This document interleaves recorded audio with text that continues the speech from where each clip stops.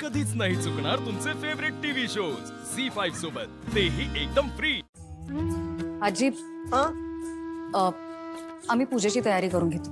अगं नाही. लीलानं केली आहे ना ती तर बापरे उत्सव मूर्तीच आहे. पहाटे पहाटे उठली सगळी तयारी केली आणि आता. अभिरामची गाडी धुतली. गाडी? अगं? ही काय?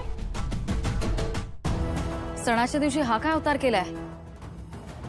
नक्की गाडीच धुत होतीस ना? आता दोघं मिळून गाडी धुत होतो तर थोडं पाणी उडणारच ना. दोघं मिळून म्हणजे तू आणि?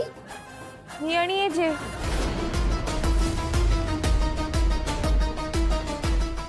म्हणजे खरं तर मी एकटीच धुत होते गाडी पण मग एजे पण आली मला मदत करायला. आणि मग गाडी धुता धुता थोडस पाण्यात खेळलो म्हणून भिजले. काहीही. आणि पहिली गोष्ट एजेंटच्या गाडीला इतर कुणी हात लावलेला त्यांना चालत नाही. इतरांचं माहित नाही पण मी बायको आहे ना त्यांची. त्यामुळे मी हात लावलेला चालतो. बरं मीराबाई जा आता आटपा लवकर असंच राहू नका. आता आल्यात ना तिघी ते बाकीचं काम करतील. हं, जा जा, जा.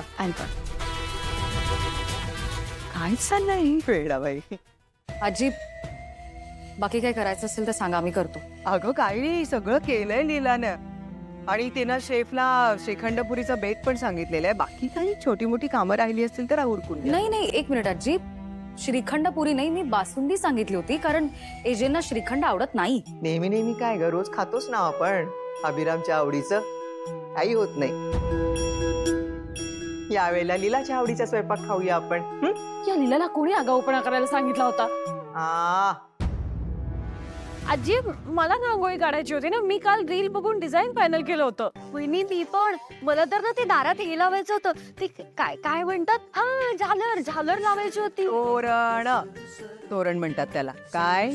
तोरण. लक्षात ठेवायचं हा? सरस्वती. लावलंय लीलाने. लावलं? पण आजी हे गप्प बसा तुम्ही ना कशा वर्षा तुम्ही? बावळट अरे इतर बायकांकडे बघा. घरामध्ये सून येण्याची वाट बघत असतात.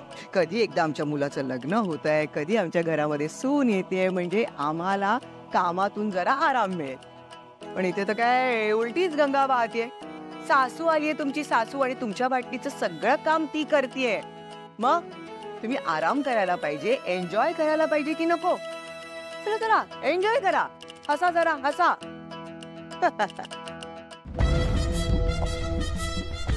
मला वाटलं एजेने तोंडावरती नकार दिल्यापासून लीला जरा जमिनीवर आली असेल.